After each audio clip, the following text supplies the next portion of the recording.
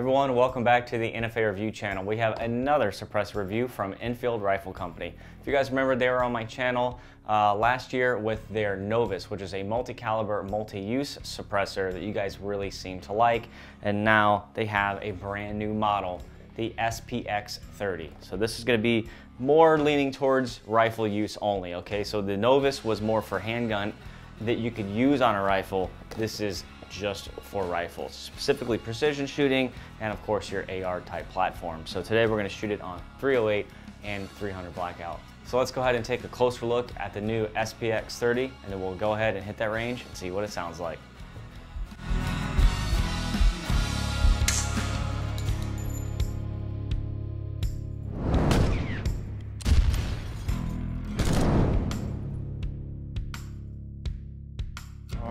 Now I do have a, I don't know, if, it's not pre-production, but this is so new. This is like one of the first ones they have sent out. My box didn't have a manual or decals or anything. I'm sure yours will, but it does have an extra wipe and some nifty little 3D printed mounts. Let's set the box aside here. Okay, and you have a little 3D printed mount says Enfield Rifle Co. on it, so you can put it on your desk and look cool at work. So set that aside and let's get down to business on the new SPX 30. It comes in a overall length of 7.25 inches, a diameter of 1.5 inches, and a total weight of 10.5 ounces. So for a 30 caliber rifle can, pretty light at 10.5 ounces, especially when considering what it's constructed of. So the outer tube here is constructed of grade 9 titanium, and then your rear direct thread mount your front cap, and your entire baffle stack is 17.4 heat treated stainless steel. As far as the finish, they have a very nice satin black Cerakote on there. This is the high temperature version. So just like the um, Novus that I already reviewed, very, very nicely applied finish. Not gloss, not matte, kind of in between. Looks really good when on the end of your firearm. Now, as far as firing schedule goes, they said it is full auto rated with 5.56 and that they tested it with four mags back to back with no pausing in between, just changing mags out as fast as they could, and they didn't have any problems. So it is warranted for full auto use. Now, typically, four mags, that's your general loadout. You know, those of you that run and gun and play on the weekends, if you have, you know, a plate carrier, you're gonna have typically three rifle mags and then maybe on top of that, three of your secondary pistol mags. And then of course you have the one mag in the gun. So you're running four mags normally as it is. So if you wanted to happy switch it all the way through, looks like the new SPX30 is capable. As far as the warranty, lifetime, should you guys have any problems, blow the can up, uh, they will cover you guys and hook you up with a new suppressor. So good to hear about that. Now, as far as decibel reduction, this was metered at the shooter's ear, so not the muzzle, so at the ear where it counts, with a 16 inch 308, it averaged 133 decibels. And with a 300 blackout, 8 inch barrel, it metered in at 124 decibels at the shooter's right ear. So very, very cool, especially considering it metered in at 124 decibels at the ear on 300 blackout tells me that this is a low back pressure can, which is nice to hear. Nobody likes getting gas face. Now, as far as the price, comes in a retail price of 859, so $859. So actually very competitive in this segment for a uh, you know multi-caliber use 30 caliber suppressor uh, under the thousand dollar mark is pretty cool especially because it comes with a mount to begin with um, now of course if you are a gold member on patreon you get an additional 20% off so you can actually go through me and order direct and get an additional 20% off that 859 so very very uh, good looking prospect there. Now as far as user serviceability, I just uh, remove the front cap. You'll see again, this is uh, 17.4 heat treated with the finish on it. And then you'll just slide the baffles out on the table, easiest way I found. And I'll set the tube aside for right now. So what you have here is a five baffle system. Again, machined from 17.4 heat treated steel. Now your first baffle is a cone type, no notch caught in it, okay? So just a straight cone baffle. And then your subsequent baffles have your typical U-notch that you've seen here on my channel, very common design. And one, two, three, four. Now, you probably noticed five baffles in a suppressor that comes in at seven and a quarter inches long. That gives you a very large blast chamber area, which is probably helping with the back pressure because it's letting a lot of expansion happen before it backs up at that first baffle. So I'll show some close-ups here and you can see just how far back that first blast baffle is set. Now, for the secret sauce here, this is a wipe capable suppressor. You don't need it. The numbers they metered with were not with the wipe, so with 300 blackout, it can get pretty quiet. Um, now, as far as wipes, from what I remember right now, the ATF or the AFT, as some of you like to call them, um, still have this stupid law on the books that they flip-flopped on 80 freaking times. So I believe with wipes right now, as it stands right now today, this can change in five seconds because they change their mind every five seconds. To swap a wipeout, you either would have to send this back to them to swap the wipeout or bring it to your local FFL SOT if they're a manufacturer. If your SOT is a manufacturer, they can do a wipe swap for you. I'm an RP on more than one uh, class three manufacturer, so I can do it myself. Um, but for those of you out there that are buying this to add to their collection and stamp it, obviously you're going to want to uh, figure that out. Now, as far as the wipes, it, it doesn't need the wipe, but it adds that little aspect of super backyard Hollywood quietness, okay? Now the design is very, very simple. Let me use my high-tech wipe pusher tool here. Pulled out of my toolbox. Here's the wipe, just your basic white material that can be found on mcmaster-carr.com. Once again, that is mcmaster-carr.com. You can find a similar material of this on that website. Order it in big sheets. Get a punch on the same website that's strangely the same size as this and hammer out wipes. Anyway, to use the wipe, all you do is you push it down into the baffle and that's it. So I thought that was a little interesting because there's no wipe retention system in place like on other suppressors we've seen where they sandwich the wipe in between another threaded portion, right, to keep it from moving.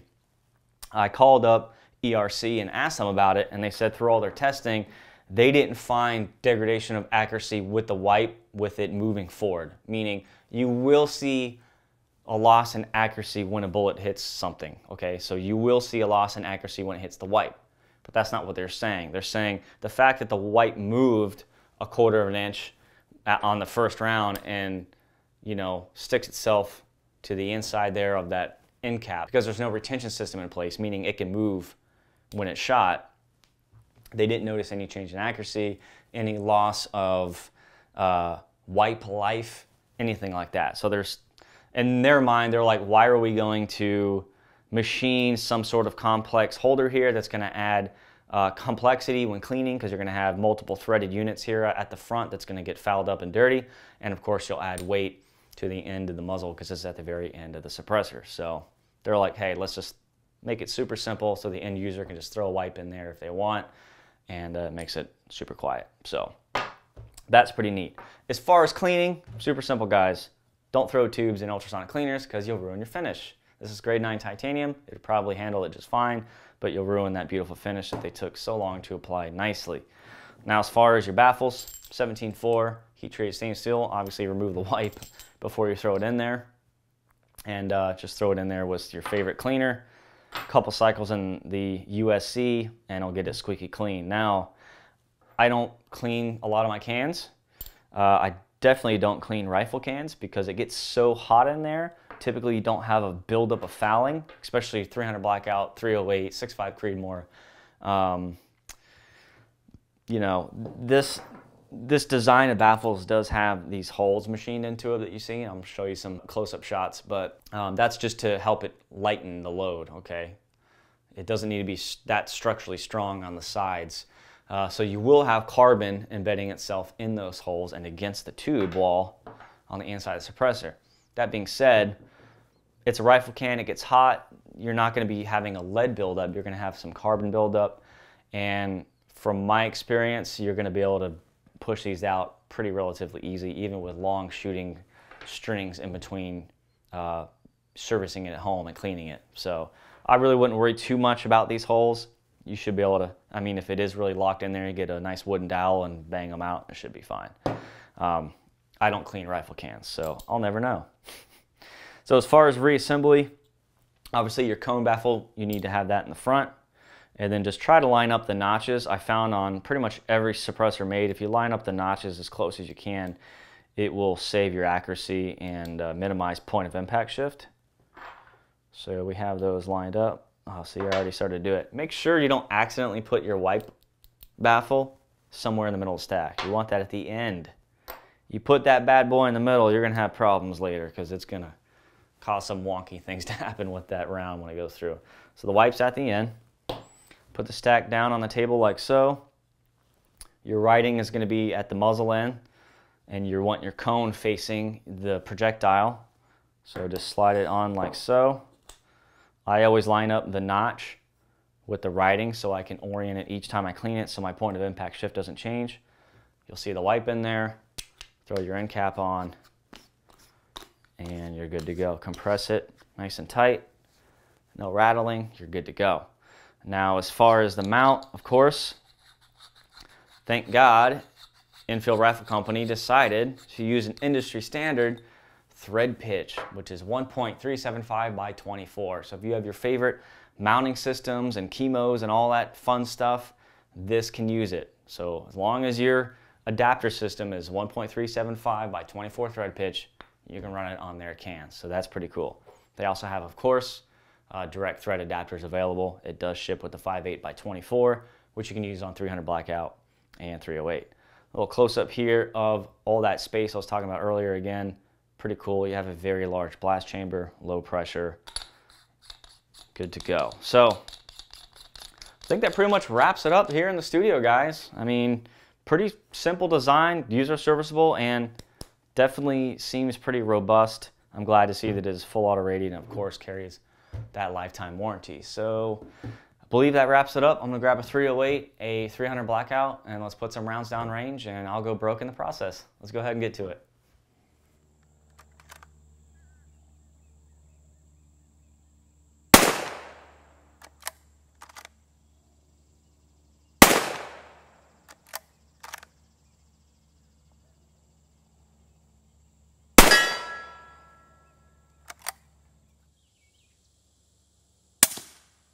sounds amazing. Steel.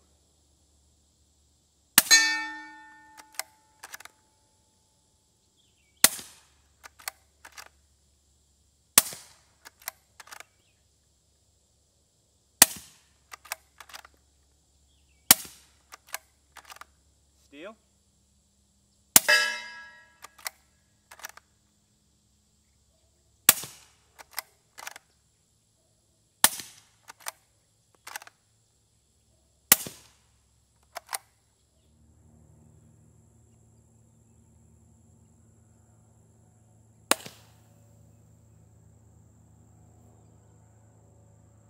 Dude. Did you guys hear the wipe gas off? Let me shoot the steel.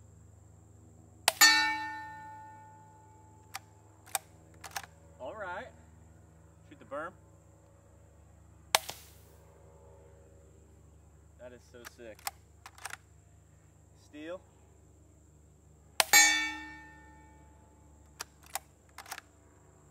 Berm.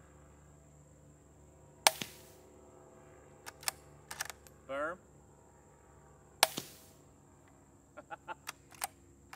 That sounds awesome.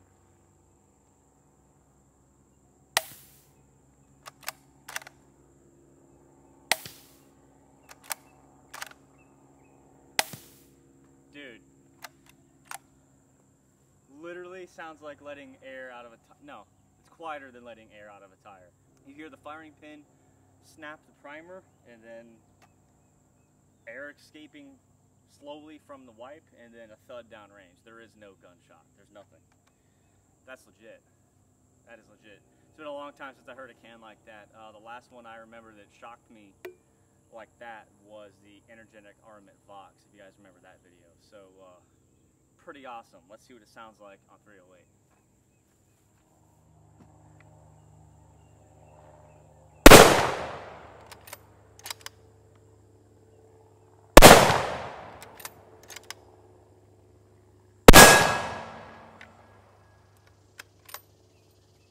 Forgot how loud that is.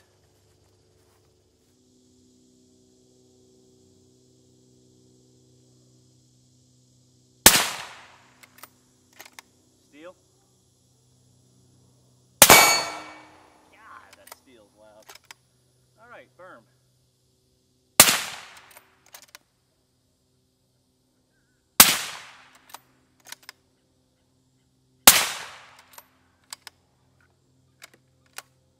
And I'm out.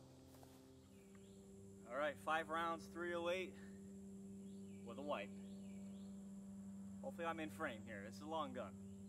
I'm gonna step back a little bit. Nice. Steel. And berm. Berm.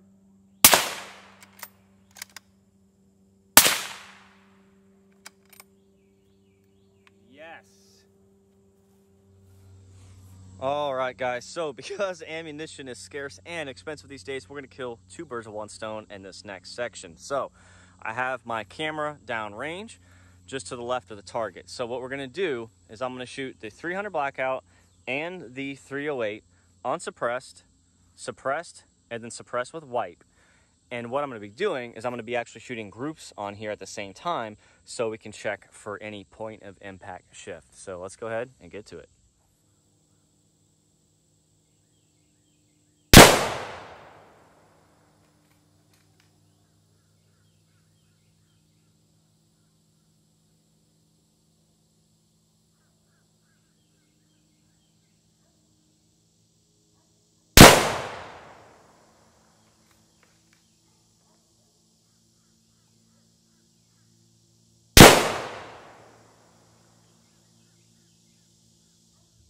All right, this was the unsuppressed 308. That was my bad dog. I totally could have stacked all three. I pulled it a little bit, but that's actually two shots. One, two. So hella tight, but look what I had to do. Anyway, so that is the first group.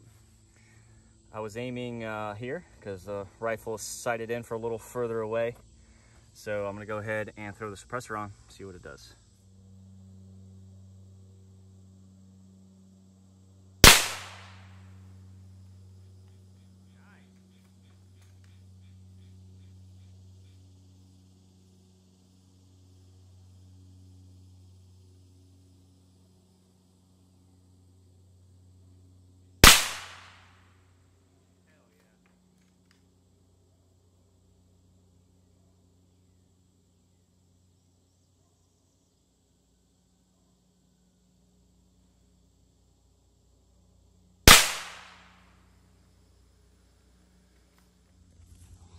All right, yes, that will do. That will do. So that is 308 with the suppressor added. No point of impact shift. Remember, this was my flyer from earlier. I had two rounds here and I just stacked two more right on top of them. How freaking awesome is that? I was really not expecting to see that, to be honest. So kudos to Enfield Rifle Company on that one. That is that is nice. I know it's only three round group, but damn it, ammo's expensive. Let's go ahead and throw a wipe on.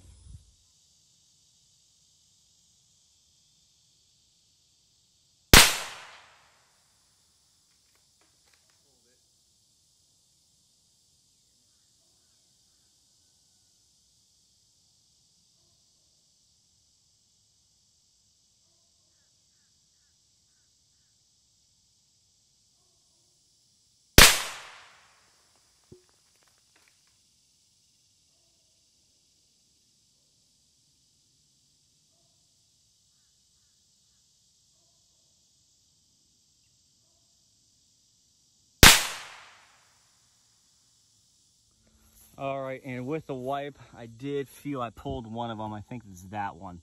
Uh, but the rest are in the same holes. So uh, that was a used wipe. That was the wipe I used for the profile sound shots earlier. So I wanted to see if a used wipe with a hole already punctured through it would change the point of impact and it does not. So what I want to do now is put a brand new wipe on the 300 blackout and see what it does. Now I will go ahead and say, disclaimer, great host for suppressor, not exactly a tack driver, the Ruger American 300 blackout. So it's not going to shoot as good as my 308 that I have all set up all nifty 50 over there. Okay. So just be forewarned. I'm gonna do my best I can do for shooting. I'll probably aim somewhere up here and we'll shoot for a group there. But uh, can't wait to hear what it sounds like again, especially from down here.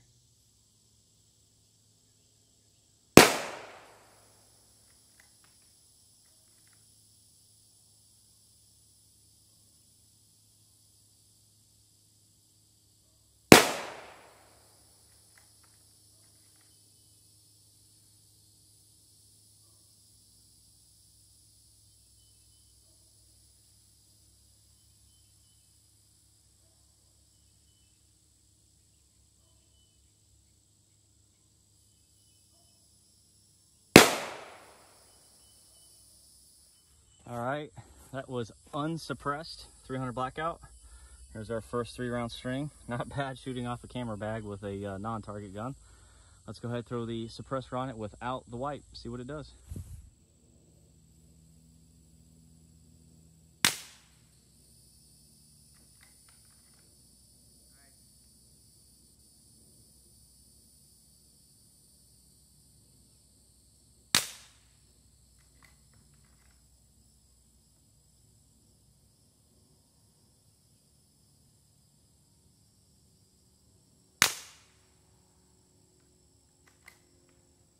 Okay, I actually surprised myself on that one. No point of impact shift. Shot pretty good for not shooting it over a month. So here's the other string of 300 blackout with the suppressor with no wipe. So take a good mental image of this group. Okay, I'm gonna throw the wipe on it and see what it does. Remember, this is a virgin wipe. There's no hole in it, so it's definitely gonna do something. I'm very curious to what that is.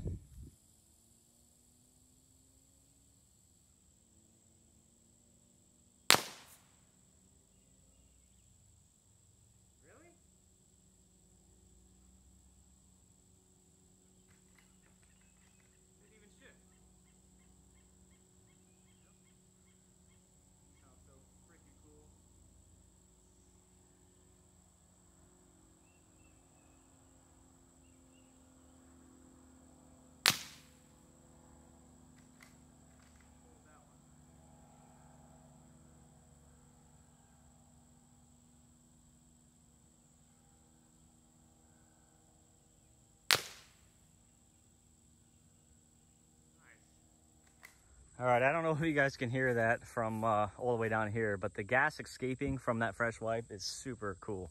So, first shot was somewhere in here. Second shot, I pulled it a little bit right, and then the third shot was somewhere over here. So, didn't really deviate the the point of impact uh, as much as I thought it would, to be honest. I mean, I even pushed the wipe all the way into the baffle, so when I shot it, it actually moved, you know, a half inch and seated itself to the inside of the front cap. So, I mean, you know, maybe that's why that shot went a little right, but I, I definitely felt like I pulled it a little bit. I mean, hell, even if it did shift it, you're talking an inch right. Um, I also got to give some credit to Ruger. That gun shoots a lot better than I gave it credit for. So uh, let's go ahead and wrap this up. All right, guys, ending thoughts. First things first, it is hot AF out here. It's like 100 degrees and equivalent humidity of walking through a freaking swimming pool. So Florida, summertime, not cool. Uh, secondly, that suppressor sounded great. It really did. I have to give kudos to Enfield Rifle Company on that. Uh, for such a basic looking design, definitely hit way above its pay grade, especially with the 20% off on Patreon. You're talking a very, very affordable full auto rated 30 caliber suppressor. Um, with the wipe, more than Hollywood quiet, like shoot in your front yard mulch bed while a neighbor walks a dog right on your sidewalk type quiet. That's how quiet it is with the wipe with Subsonic 300 Blackout. With the 308, uh, it's supersonic round. Like I said in the studio, it's kind of a waste to use a wipe with a supersonic round. It's just you're not going to get the same ooh ah effect. You're not going to get the Hollywood effect because the the sound of the round breaking the sound barrier kind of ruins the experience. So don't waste it on anything but subsonic loads. Um, point of impact shift, nil. There was none. That was kind of unexpected, uh, especially through that virgin wipe. I, I was certain it was going to do something wacky. Uh, it didn't. So your mileage may vary, but it's not like I was shooting it on a target gun. I was shooting on just a typical ranch gun you would keep in your truck, throw a suppressor on it, keep, keep a wipe on it, and you're good to go. Now, as far as sponsors for today's video, I want to give a huge shout out to 2A Warehouse. Uh, they sent us some ammo for today's video, and as you know, it's pretty scarce these days, very expensive, so very cool to have them on board for an ammunition sponsor. They're not gonna, you know, supply me with everything that I need, but it, it, any any bit helps. Trust me, it gets pretty crazy expensive out here to film these videos. Um, they are also a sponsor on my Patreon. They give 7% off site wide for all you guys that are interested. Head to my Patreon, which is patreon.com slash NFA review, and go to the gold tier and you'll see them on there. If you sign up, shoot me a PM and I'll get you set up with that promo code and any other promo codes that you guys want for the companies that sponsor us on Patreon. So hope you guys enjoyed the video today. The can sounded amazing on both three, uh, 308 and 300 blackout, wiped and unwiped. It actually performed way, way, way above its pay grade. So huge, huge, huge, huge kudos to Enfield Rifle Company for that. Uh, very cool to have them on board and I can't wait to see what they have next. Until next time, please click that like button. It does help here on the channel. And of course, subscribe if you're new to the channel and I'll see you next time.